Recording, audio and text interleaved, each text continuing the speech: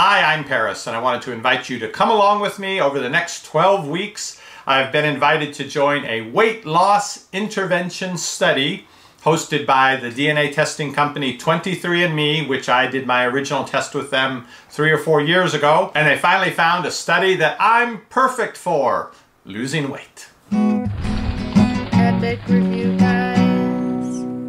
So it was just after Christmas that I got an email from 23andMe asking if I'd be interested in participating in the study. They told me that I would be assigned to one of three groups and all the people who are in the study have had their DNA testing done with 23andMe. So they want to correlate based on different markers and genes and things they see in your DNA. If you are overweight and you try to lose weight, are you more likely to be successful depending on your DNA if you go on a low carb diet low fat diet, or increase your exercise and activity.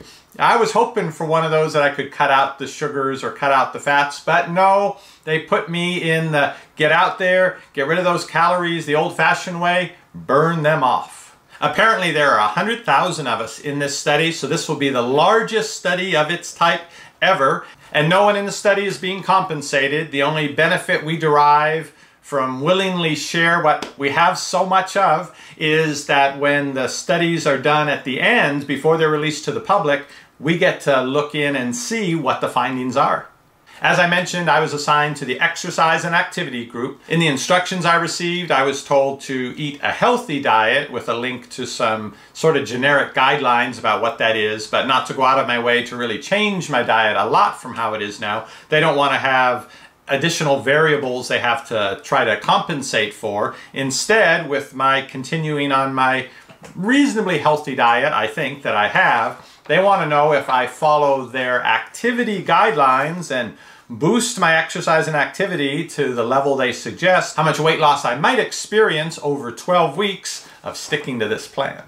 Now since the first of the year, this is one of my New Year's resolutions, I've gone out for a 30 minute walk every morning. As soon as I get the kids out the door, I go out and take that mile and a half walk. So it's not really fast walking. I'm doing about three miles an hour. Now I'm afraid my walking isn't going to qualify because they say that moderate activity is such as brisk walking. You'll know when you're in the moderate intensity range if you can talk but not sing while you're active. Well, I can't sing anyway. If I exercise enough, will I be able to sing? That would be nice.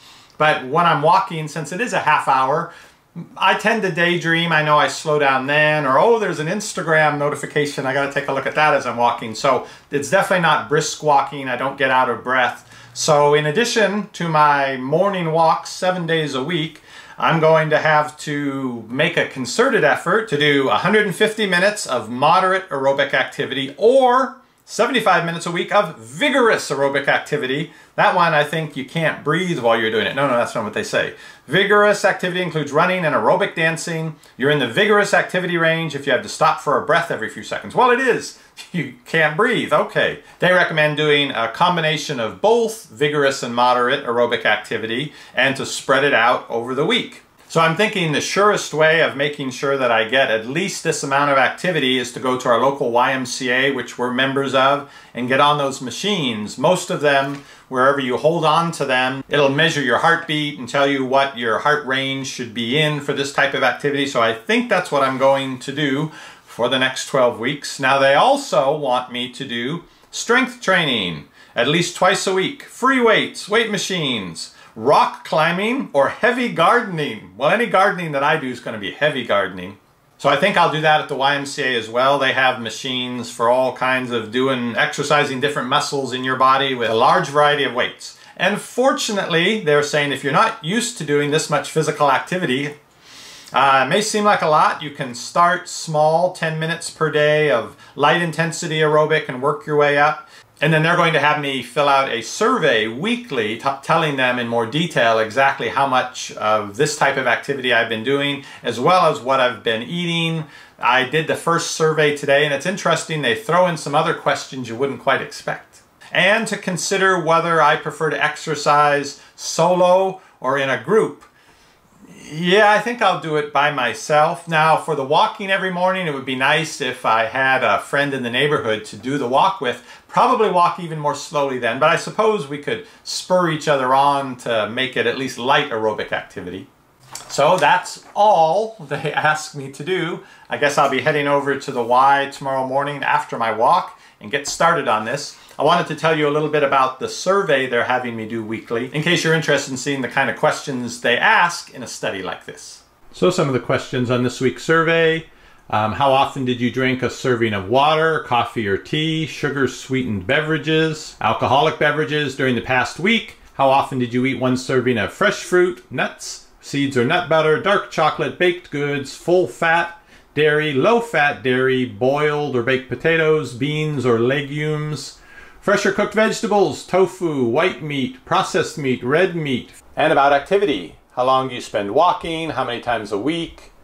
Uh, strengthening physical activity, light to moderate, vigorous physical activity, and far around are your hips and your waist and your weight. And what's your weight loss goal, primary motivation? When you're in the mood for a snack, do you go for sweet or salty? Why do you avoid dairy? Because I told him I avoid dairy.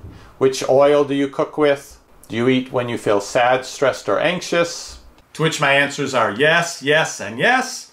I don't do drugs, I rarely drink, but there's a reason it's called comfort food.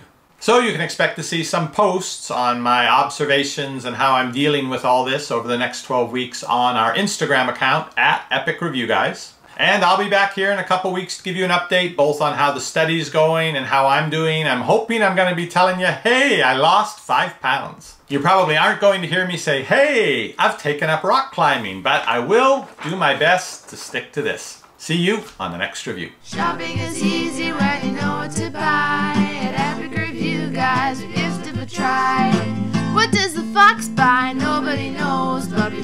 He goes shopping, he watches our video.